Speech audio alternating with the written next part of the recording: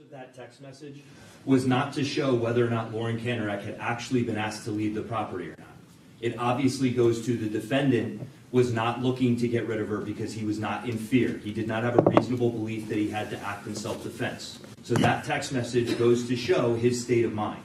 It is not offered, I recognize it came in that way, but it's not offered to show whether or not she was actually told because her state of mind, whether she was actually told or not, has no relevance really or bearing on his guilt or not guilt.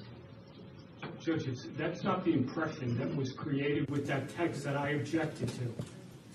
The, the says official, the jury has the impression that up until right before the shooting, no one ever told Kanarek to leave. And that's a conversation they had with my client. And I can't put my client on.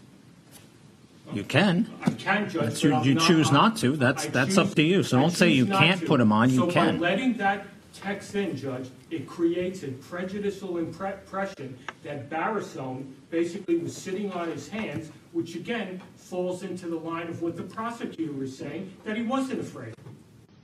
And, and she was told by different people, you know, that Barisone. I know, was- but, but, but here's the thing. Her state of mind, Kanarek's state of mind, and wh- whether, that's not really an issue. It's, it's Mr. Barisone's state of mind.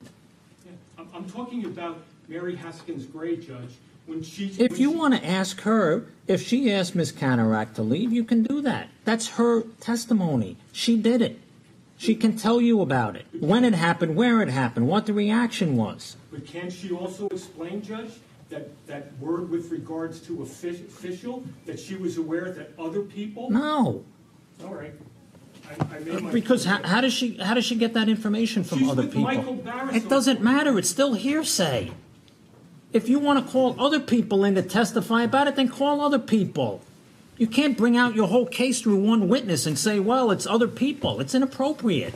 He can't cross-examine that. You want to bring in a meeting that she wasn't even attending. That's complete hearsay.